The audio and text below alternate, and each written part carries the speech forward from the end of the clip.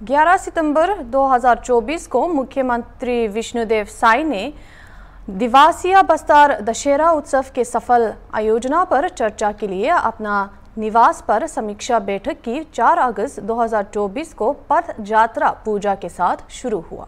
ये त्यौहार 19 अक्टूबर 2024 तक जारी रहेगा। ये विभिन्न आदिवासी समुदायों के लिए एक महत्वपूर्ण सांस्कृतिक और आध्यात्मिक घटना है।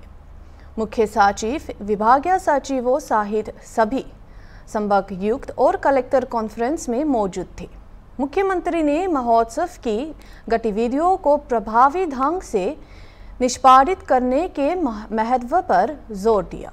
बस्तर दशहरा महोत्सव समिति ने 15 अक्टूबर 2024 को मुरिया दरबार साहिर विभिन्न कार्यक्रमों और बस्तर मदाई, सोशल मीडिया प्रभावितों की बैठक और पर्यटन पहल जैसी गतिविधियों के लिए विस्तृत योजनाएँ बना बनाए त्योहार के कार्यक्रम में महत्वपूर्ण अनुष्ठान और समारोह शामिल है, जैसे काचनगारी पूजा, नवरात्रि पूजा और मवाली माता जी की विदाई अभिनव पहलों में सामूहिक।